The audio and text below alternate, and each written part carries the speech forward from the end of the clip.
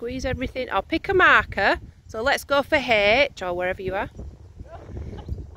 So look so look ahead. Right, don't pat him after every transition now, or that's what he's going to expect every time. So five, four, three, two, one. Perfect. Squeeze, don't pat, squeeze. Do it again at K. That's it, nice walk.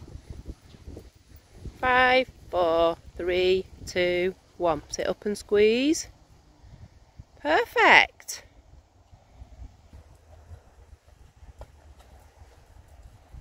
That's it. And then start thinking about transition. So just go around the arena. And between F and E, get your uh, get your walk. F and B, sorry, yeah. So just sit, sit up tall, and make him walk, make him walk, make him walk. Tap tap, make him walk. That's it, and only let him trot when you're ready to. Use your whip if you need. Good. Same again, but do it between E and K this time. So start sitting at E.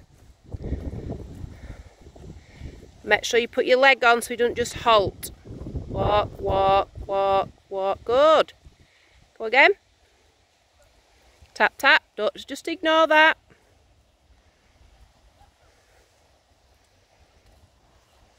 So anywhere along here, maybe a bit further up this time.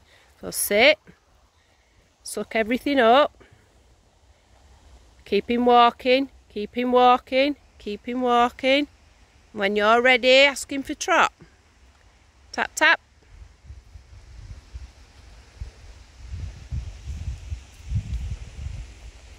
Now this time, along this long side, down to warp, keep him walking and then ask him to halt and then he can have a pat and a stretch.